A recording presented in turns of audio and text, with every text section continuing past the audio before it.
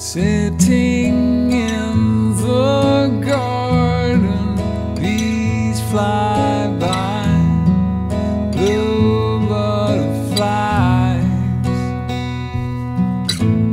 Lilac smells so